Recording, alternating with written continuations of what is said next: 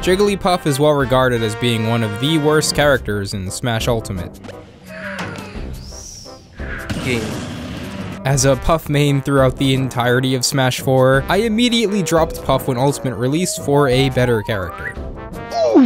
However, Puff's seductive call kept ringing, and like any emotionally abusive relationship, I found myself crawling back, willing to give the little bastard a second chance. Was it worth it?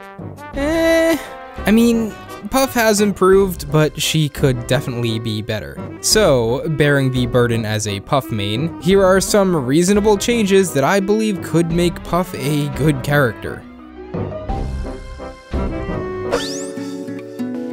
Jigglypuff currently has the second highest airspeed in Smash Ultimate, right behind Yoshi. Puff is incredibly slow on the ground, but her movement speed in the air combined with her multiple jumps gives her pretty good mobility. She can definitely get where she needs to go. However, I think increasing Puff's airspeed would help improve her approach options and would make it easier for her to weave in and out of her opponent's attacks. This mobility buff could help accommodate her less than stellar range.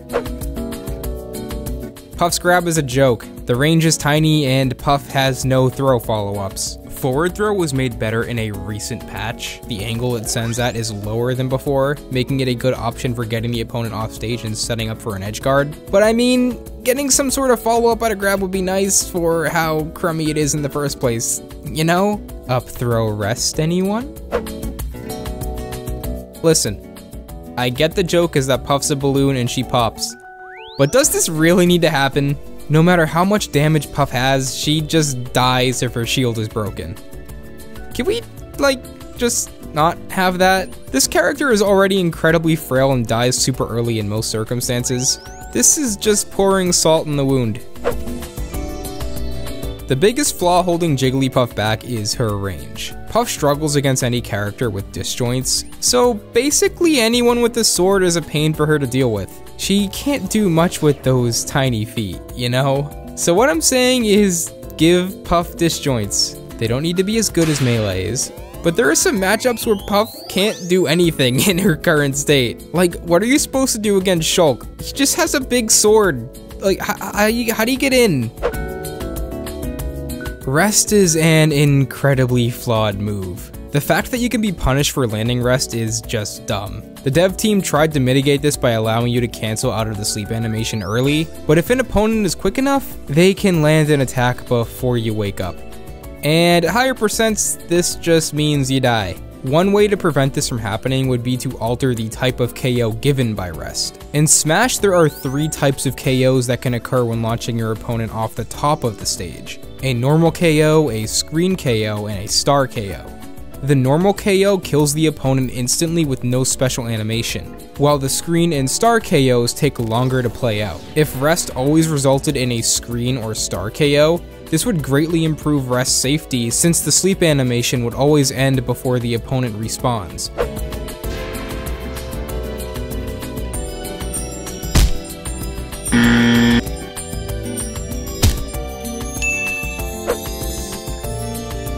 Can't stop talking about Rest, huh?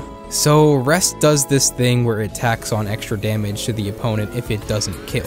But nobody uses Rest to tack on damage. If you're using Rest, you're using it knowing it will kill. So that extra damage is pointless in most circumstances. In the Pokemon games, Rest is a healing move. So I'd like to propose the Smash version of Rest be made more like its Pokemon series counterpart. Let's get rid of the tacked on damage and make Rest heal Puff when landing it. Damage healed by Rest would equal half of your opponent's damage when they were hit, meaning if your opponent is at 100% when you land Rest, Puff would be healed for 50%. The healing would occur only when this move hits and rewards the player for killing when the opponent is at a higher percent. Do you try to kill with rest as early as possible? Do you let your opponent live longer and hopefully heal more damage? This would further play on the risk versus reward mechanic of rest. Most of Puff's rest setups don't work past 60% of most characters anyway, so I think this is probably maybe a fair change. Sing is well regarded as being one of Puff's worst moves. In its current state, Sing is only really used in tech or jab lock situations. In these instances, it can be really useful, but the hitbox can sometimes be janky and unreliable. When Hero joined the fight as the third DLC character, he brought with him numerous spells from Dragon Quest. One of these spells is Snooze, and like Sing, it puts the opponent to sleep. However, unlike Sing, it can put aerial opponents to sleep. It would be a welcomed change if Puff Sing could have the same effect. Jumping off stage with Sing to edgeguard and seeing your opponent plummet to their death would be pretty hilarious. Rollout is well regarded as being one of Puff's worst moves. But remember Sonic's side B canceling in Smash 4? I want that. Also, make it so you can jump with it. Also, make Rollout a multi-hit. Basically, just copy Sonic Smash 4 side B and put it on the Puff. It would also be really cool if you could combo it into Rest. Yoshi is well regarded for his frame 3 Nair. This move allows him to easily break out of combos, and isn't annoying in the slightest. In contrast, Puff's frame 6 Nair is twice as slow, and while the hitbox lasts 3 times as long, it would be really fun if Puff also had a frame 3 Nair. But I think we can do better than that. Puff deserves better than Yoshi, because who mains Yoshi anyway? Like, nobody likes fighting against Yoshi, Yoshi means like just eat crayons. Like, come on, th this character is just nobody likes him. So yeah, let's just scrap that last change and give Puff a frame 2 Nair instead. Now, I know what you've been thinking.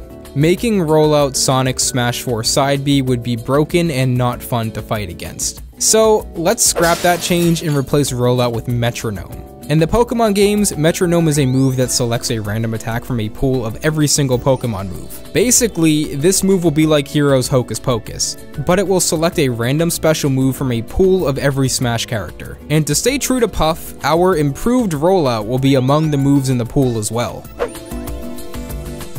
Sword characters are well regarded for being some of the best characters in the game. If you have a sword, you're a good character like 90% of the time. Like I said earlier, Puff really struggles against swords, so let's just get rid of them. Think of how much more fun Ultimate would be without swords. Y'all already complain about too many swords anyway. Arsene is well regarded as being one of the best characters in the game. While Puff already has a comeback mechanic in the form of rest, I have already explained how flawed that move is. So let's just give Puff meter. Now, it might be weird to give Puff Arsene, so I'm suggesting Wigglytuff appears as a replacement that serves the same function. Puff would gain more range, more damage output, and because Wigglytuff also serves as a comeback mechanic, when Wigglytuff is active, Rest would be replaced with a counter. To compensate for this replacement of Rest, this counter would also have the same power and knockback as Rest. The last thing you'd want in your legal stage list is someone's foot fungus, unless you're Puff. I think we should legalize the Burger King foot lettuce stage because Puff actually does really, really well on it. Like, you can just camp on the top platform the entire game and your opponent, like, really can't do anything about it. Jigglypuff is well regarded as being one of the best characters in Melee, so just play Melee. Go back to Melee, you cowards. So that just about does it. As a Puff main, I know what's best for my character and the meta, so I think giving Puff these changes will at least shoot her into the top of mid tier.